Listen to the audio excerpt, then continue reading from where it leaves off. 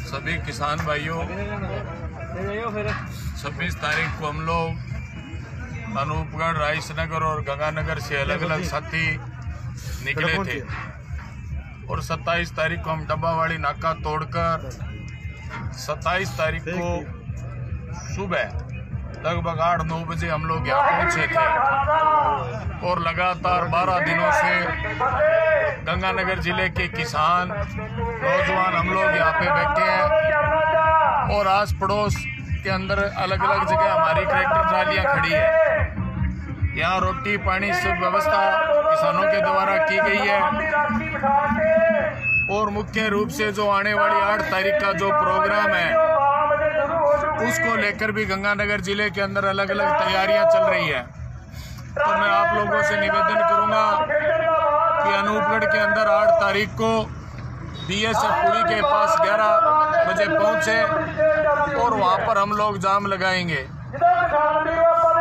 आगे हमारे जिला सचिव शोपतराम जी मेघवाल बैठे हैं, वो इसके बारे में विस्तृत जानकारियाँ देंगे आपको। किसान साथियों, नमस्कार। आप सभी जानते हैं कि पूरे देश भर में लगभग 12 दिनों से किसान साथी दिल्ली के चारों ओर सड़कों के ऊपर डटे हुए इन 12 दिनों में किसान की पहली जीत तो ये है कि सरकार लगातार पाँच दौर की किसानों के साथ वार्ता हो चुकी है। चौथे दौर की वार्ता में सरकार ने ये स्वीकार किया कि हम कुछ संशोधनों के साथ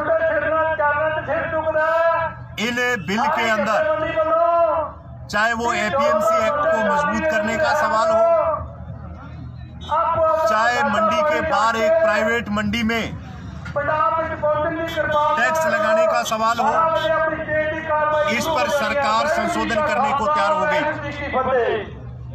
लेकिन सभी किसान जथेबंदियों की राय थी कि ये तीनों जो कृषि सुधारों के नाम के ऊपर कानून आए हैं, ये कानून ए से लेके जेड तक किसान, मजदूर, व्यापारी विरोधी है। इसलिए देश की सरकार जन भावना को समझते हुए इसे वापिस ले।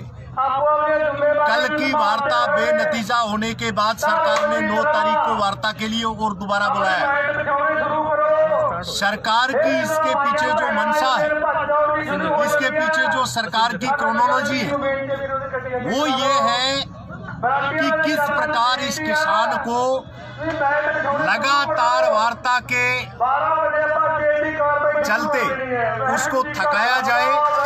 जिससे किसान कुछ संशोधनों पर बात करके सहमत होने पर तैयार हो जाए। लेकिन किसानों ने अटल फैसला किया है कि जब तक तीनों कृषि कानून और बिजली संशोधन विधेयक 2020 वापिस नहीं होता, तब तक यहाँ से खड़े होके नहीं जाए। अब अगला जो कार्यक्रम है क्योंकि पूरे देश भर के किसान कई मजबूरियों के चलते, जैसे हम हमारे गंगानगर में देख रहे हैं, हमारे गंगानगर में विवाह शादियों का सीज़न है, फ़सल की बिजाई का सीज़न है, इसलिए बड़ी मात्रा में किसान पहले दिन नहीं आए। लेकिन आज एक हज़ार से भी ज़्यादा किसान अकेले टिकरी बॉर्ड, बॉर्डर के ऊपर, गंगानगर के यहाँ पर अलग अलग जगह पे अपने तंबू लगा के, पक्के लगा नाके लगाकर बैठे। अगर कोई किसान मजबूरी में यहाँ नहीं पहुँच पा रहा। पहली बार देश के अन्नदाता ने भारत बंद का आठ तारीख को ऐलान किया। उस भारत बंद में बाजारों को बंद, सड़कों को बंद सारी व्यवस्थाओं को बंद करके। हम सरकार के सामने अपना विरोध दर्ज करें पहला आज़ादी के बाद में ऐसा आंदोलन बताया जा रहा है। जो आंदोलन बहुत ही अनुशासित बीजेपी अपनी आईटी सेल के माध्यम से जैसे पिछले आंदोलनों को आतंकवाद के नाम पर, वामपंथ के नाम पर, नक्सलवाद के नाम पे बदनाम करती थी। अभी भी जिन लोगों के दिमाग खाली है, कोई इसको खालिस्तान कह रहा था, कोई इसको नक्सलवादी कह रहा था, कोई कह रहा था इसमें बाहर से फंडिंग होती है। पंजाबी भाषा में अनुशासन को ये जाबता बोल। मैंने ऐसा जाबता। आज तक नहीं देखा कि मंच से अनाउंस होने के बाद कोई इधर उधर नहीं जाता आप इधर उधर ट्रैक्टर, ट्रालियाँ देखेंगे। किस प्रकार किसान बड़े धीरज से, कोई किसी में उतावलापन नहीं। और हर किसान के दिमाग में एक बात फिट हो गई है कि अगर मोदी और मोदी की कंपनी को इस काले कानून के लिए मजबूर करना तो उसका एकमात्र रास्ता है संगठित होकर अनुशासन में गांधीवादी तरीके से इस सरकार का हम मुकाबला कर सकें। मैं सारे मित्रों से निवेदन करना चाहूँगा, इसको शेयर करो। जब जंग होती है, जंग में रसद सामग्री पहुँचाने वाला, उसको हल्लाशेरी देने वाला, नारा लगाने वाला सबके योगदान को कम करके नहीं आका जाए इस सैर करके भी आप अपनी घर बैठे भूमिका को अदा कर सकते हैं। ये ज़्यादा से ज़्यादा लोगों तक बात जानी चाहिए। आपने 12 दिन में दृश्य देखा। एक ऐसा मेला लगा हुआ है जिसमें लाल झंडे जिसमें हरे झंडे जिसमें पीले झंडे जिसमें नीले झंडे रंग बिरंगे झंडों से अलग अलग भाषा क्षेत्र के लोग दिल्ली की सड़कों पे आके इस ठंड के अंदर जम गए। सड़कों पे डटे हैं। आठ तारीख को भारत बंद हो। आपका एक दिन उस सरकार को मजबूर करे, क्योंकि कुछ लोगों के दिमाग में अभी भी ये चीज़ बिठा दी। जब रेलवे निजी हाथों में जा रही थी, बिक रही थी कोविड में, तब भी कई लोग कह रहे थे, सुविधा बढ़िया मिली।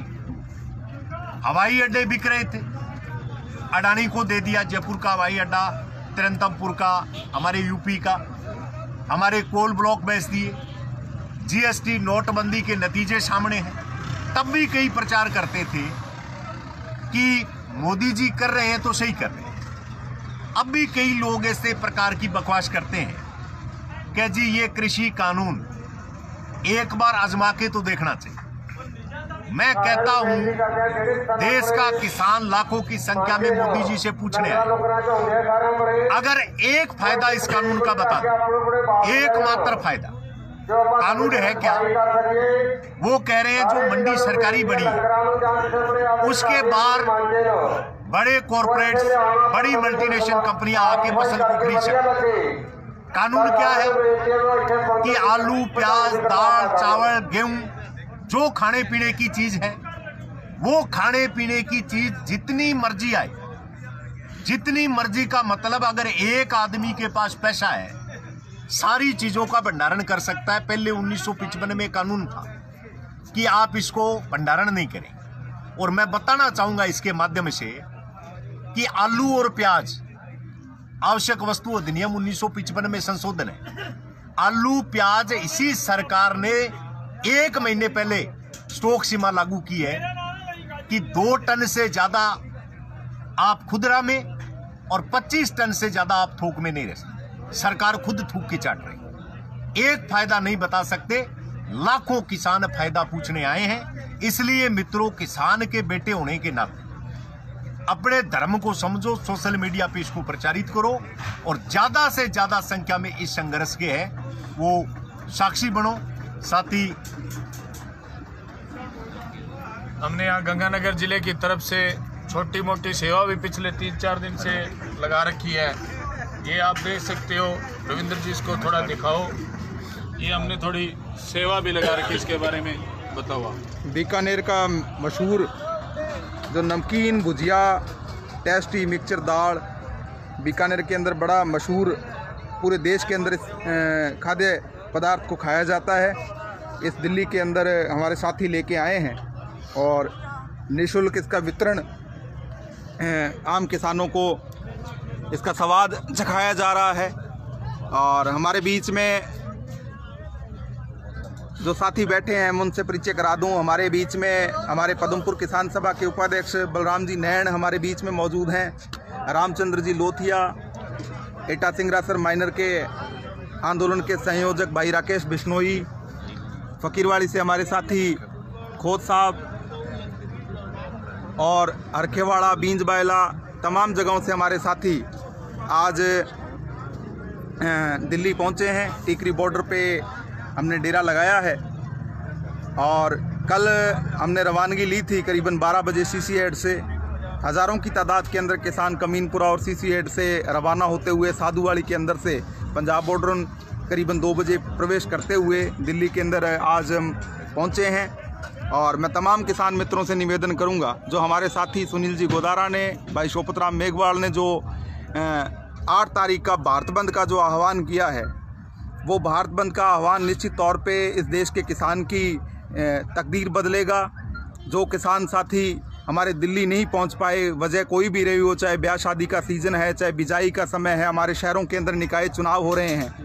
तमाम जो अटकलें थी, उनको नकारते हुए हमें आठ तारीख के भारत बंद को सफल बनाना है। इसी उम्मीद के साथ कि आप किसान के साथ डटकर खड़े रहेंगे। मैं आज के इस फेसबुक लाइव को आज विराम देता हूँ और जल्द ही हम नई बात के साथ, नए समाचार के साथ आपके समक्ष एक बार फिर हाजिर होंगे। इनकलाब जिंदाबाद किसान एकता जिंदाबाद।